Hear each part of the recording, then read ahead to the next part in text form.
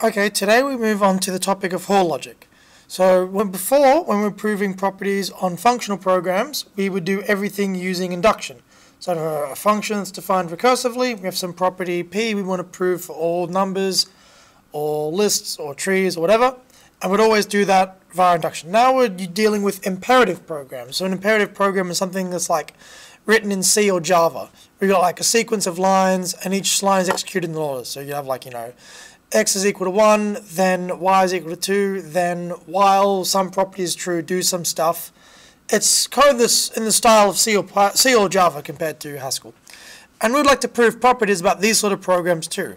And we do that using a, um, a proof method called Hoare logic.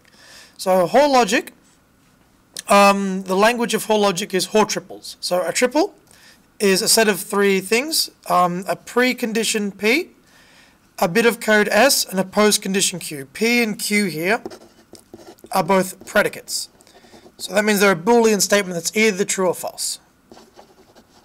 And S is just a snippet of code. So it, um, we want uh, the, what the Hoare triple states is that if a Hoare triple is valid, uh, gives us the guarantee that if P is true before the code is executed, and when you execute the code it halts, then we're guaranteed that Q is true afterwards. Okay?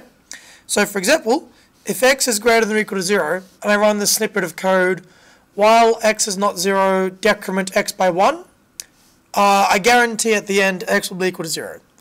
I can in fact even generalize this to an even stronger precondition, uh, weaker I should say, true, while x not equal to 0, decrement x by 1, x equals 0.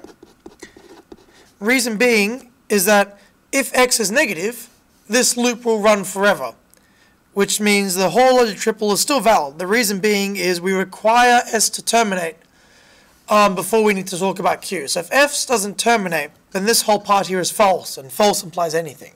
So by default, if the code doesn't halt, the whole triple is vacuously true, because you'll never get to talk about q, because the, the you know the code never ends, right?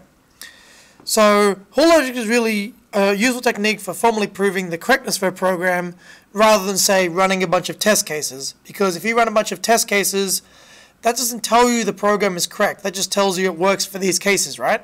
There always might be a sneaky bug hiding in there that you missed.